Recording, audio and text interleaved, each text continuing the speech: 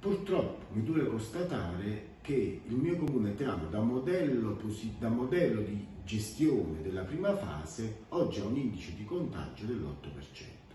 E questo è il dato. Uh, è un dato che ci impone uh, una, uh, una scelta, una scelta drastica, quella di ridurre l'assembramento fisico, compreso la fiera settimanale e quindi il mercato. Non si può mediare tra la vita e la morte, non si può mediare sulla pubblica salute. Quindi in questa fase misure restrittive, quasi da zona rossa, per tutelare la salute delle persone. È la prima fase. Seconda fase, in bilancio troveremo, come abbiamo fatto per le attività commerciali, un ristoro ad impegno di risorse comunali anche per le attività mercatali, quindi per gli ambulanti. Ma oggi non si può mediare sulla salute pubblica, l'unico obiettivo è tutelare la vita delle persone. Una volta portata e salvaguardata la vita, poi si pensa ai ristori e al fatto commerciale in sé per sé.